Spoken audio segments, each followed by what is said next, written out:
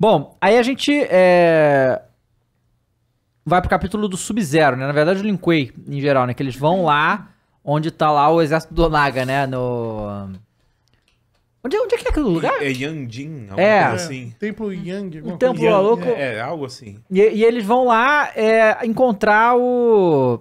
ir atrás do, do Quan Chi Shang Tsung, o Shao tá lá também, e aí se descobre né, o plano deles, né? Aliás, por que, que eles estão no plano terreno? Quem? Ou isso é na Exoterra que eles vão? Não, é plano terreno. No plano terreno. No plano É, terreno. O exército do Naga estava no plano terreno ou tava na Exoterra? O Onaga tá na Exoterra. Então, tipo, O exército, você É, fala? o exército. Nossa, É, tá na essa parte que eu fiquei meio, tipo, eu- É Exoterra. É que que Exoterra. o, o Quan Chi e o Shang Tsung foram pra, pro plano terreno?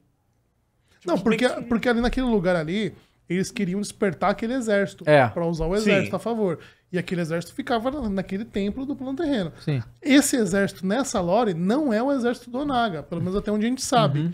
É um do Rei exército- Dragão, é, né? o- o- é, então. Rei Dragão, do Yang, não sei das quantas. É, ele fala o, fala o nome, né? do- É. do coisa. Então, não- Yin, assim, aparentemente não Oi? é o, o Onaga. Por quê? Tá lembrar. Porque a gente vê que o Onaga, ele, ele tá no jogo e ele tá na Exoterra, preso. Uhum. É um ancestral do, do Reiko, do- não, do General Shao. Ele prendeu o Onaga.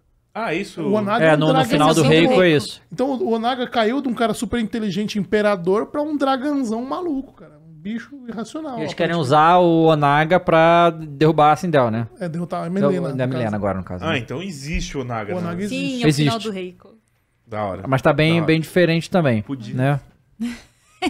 É, e, e aí eles vão lá, e aí é quando tem, né, tipo.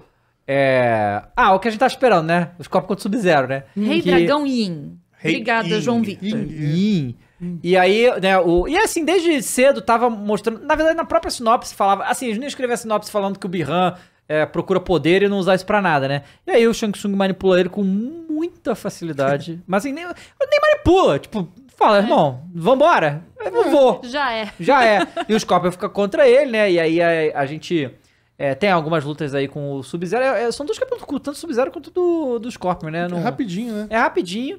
E aí descobre isso, que a intenção dos caras é usar as almas pra ativar esse exército e tomar todos os planos, né, e tal. E, né, você controla depois o Scorpion, aí faz um negócio com o Havoc, luta com ele, enfia a cara do Havoc no, no, no bagulho de Essa cena foi bonita. É, Assim, Sim. feia, mas Feia. bonita. pois é. A parte toda do Scorpion foi muito da hora. Ele mete o pau em geral ali. Geral, né? Geral. geral, Geral. geral. É. E acontece o corte, né? O corte no, no, Hum. Do Kuai Liang, quem faz é o próprio Bihan, né? Ah, foi maneiro, né? Foi maneiro Olha isso aí. aqui. É, ele tá com a faga, aí, depois, aí quando mostra a imagem não tem a, a kunai de gelo na mão É. dele, tá na outra e vai. Ah, na hora que ele pegou a kunai de gelo, eu falei, ah, é, é agora, agora. é agora. Não tem como não Foi pensar. legal. E aí eu vi alguém falando aqui, realmente tem razão. Tipo, agora literalmente o, o Scorpion é o Sub- o Sub-Zero amarelo. Sub-Zero amarelo, canonizado. Canonizaram o Sub-Zero amarelo. Pô, eu achei que o Bihan... Tanta gente foi bonzinha que eu achei que o Bihan dessa vez ia passar. Não, não passou. Né? E foi muito rápido pra ele for- Aham. ir pro time do Shang Tsung. É bem aí, né? É. Fala assim, ah, seu clã é poderoso, você não quer colar comigo? Você você aguenta? Você vai conseguir ganhar? Vou, então tamo junto. Mas Acabou. eu, mas eu fiquei feliz, cara. Tipo, eles são opostos, sabe? Bihan e Kuai Liang, Scorpio e Sub-Zero, eles são opostos e eu gosto disso. Sabe? É, e, Eu e- gosto, mas essa é uma das coisas que eu falei pro Dave. Eles venderam tanto essa coisa de não, porque agora eles são irmãos, É. não, porque a Kitana e a Milena agora se dão bem, não sei o quê, que no fim é a mesma coisa. É porque, tipo, a Mas acho Kitana e a Milena se dão bem. Sim, mas eu acho Né? que tem uma Então. profundidade maior. Os dois irmãos que se odeiam do que dois inimigos normais. Não, não, Eu sou tudo teu bem. inimigo. Tudo bem. Mas é que assim, pra no final Shang Tsung continuar sendo cara mal, sendo É. cara mal, o Ah. Bihan sendo cara mal, tipo, no fim, vamos vender aquela história de que agora é tudo diferente pra no fim ser a mesma coisa de sempre. Ah, sim. É, Acho que a motivação dele ir pro lado do Shang Tsung tinha que ser maior, sabe? Não podia ser um pulo. e- é, eu acho assim, eu acho que o. Eu acho que eles tinham oportunidade com o Shao de fazer ele ser um herói nessa, nessa história, sabe? Caramba. Eu acho que. Você aceitaria bem isso? Aceitaria. É mesmo. Aceitaria. Eu, Eu acho ainda que. fico pensando, desculpa. Não, não, é porque, porque eu acho que o, o- pela história que eles queriam contar, o Shang Tsung tinha que ser do mal. Não tem jeito. Agora o Shao não precisava nessa história aí, entendeu? Ele podia ser um herói da Exoterra, sabe qual é? Um É. cara honrado e tal, que não tem essa sede de poder todo e tal. Eu acho que Sim, Ele seria só legal. pensa na Exoterra, tá do lado da Isso, Sindel. Não, mas é. isso, isso ele faz.